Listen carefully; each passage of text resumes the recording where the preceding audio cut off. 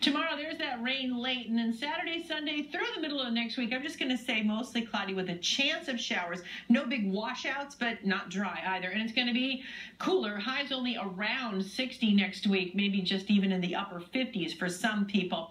And here's a gorgeous shot. Wow, Port Orchard there. Looking out there's Bremerton across the way. Blue sky atop that. Kyle and Port Orchard sending that gorgeous photo with a seagull. How perfect is that? It's going to look like that today.